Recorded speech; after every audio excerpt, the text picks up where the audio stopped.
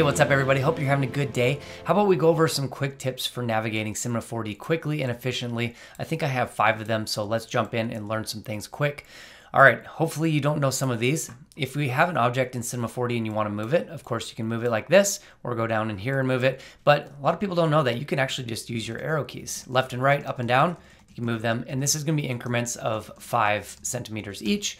And if you hit R for rotate, you can also rotate them, which is pretty cool. So I actually find myself using this quite a bit for nudging objects around your scene. All right, let's go for another quick tip here. This one's gonna be about lighting. Let's add a spotlight. And if you wanna light this cube, can take a little bit of time to get the spotlight sorted out, kind of figure out where that cube is. A really fast way of doing that is go to cameras and use camera and selected object as camera. And whatever you have selected, once you click this, it will look through it like it's a camera. And so where's that cube? We still can't find it, right? Well, super easy. Just click on that cube and hit S and that will frame it up. And just like that, our spotlight is pointing right at the cube. So now we can go to cameras and go back to default camera.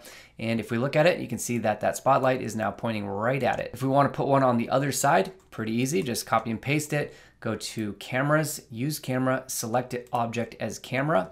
Just pivot this guy to the other side. Maybe want to come from a different angle a little bit. Then we can go to default camera and now we have our spotlight on that side. So when you're setting up your three point lighting, that's a really handy way to go. All right, let's do another quick tip.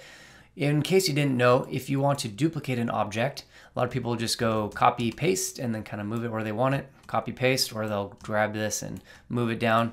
Um, you can actually just grab an object, hold control down and drag it, and it's gonna make a new copy.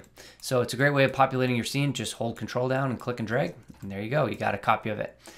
For our fourth tip, let's talk about resetting PSR. A lot of times you'll have an object and you want it to go right into the world center. So there's a couple of really fast ways to do this. Um, the way that I used to do it was if you hold Shift C and type in reset, there's a command called reset transform. If you put that up in your dock, you can just click it and it will put that object right in the center. It will reset everything, go to zero and put it right in the middle. Another thing that might be handy is let's say we take this cube over here and we want it to be in the exact same spot as this cube. Well, you can just take it, nest it inside, hit your reset transform, and it will take on the parameters of whatever the parent is. So let's click that and bam, it goes right to that spot. So super easy. All right, so that's reset. Um, there's actually a shortcut for it, which is great too. So let's click on this one. Here it is, are you ready? Alt zero, hit Alt zero, bam, reset your PSR, just like that. And if we wanna take this cube and put it into this one, we can also click it, hit Alt zero, just like that, it's right there. All right, you want another cool little sub tip?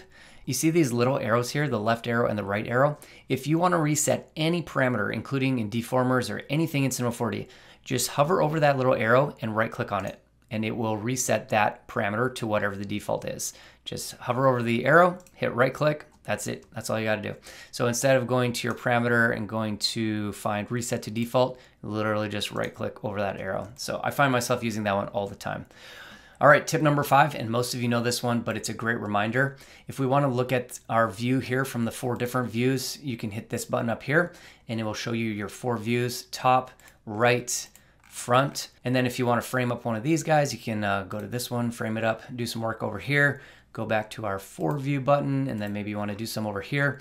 There's actually shortcuts for this, and you should really get used to using them. Just use your F keys, F1, 2, 3, 4, and 5. F1, will give you your main one, then F2, F3, F4, and then F5 will give you the four view. So make sure you just remember to use all those F keys. That's gonna save you a ton of time. So those are five quick tips. Those are workflow tips that if you just start implementing them, you're gonna slowly add up some time saved. Hope you guys enjoyed that. If you do, go ahead and leave a comment and I will create some more of these quick tip videos. All right, thanks for checking out the Pixel Lab. We'll talk to you next time. Ciao.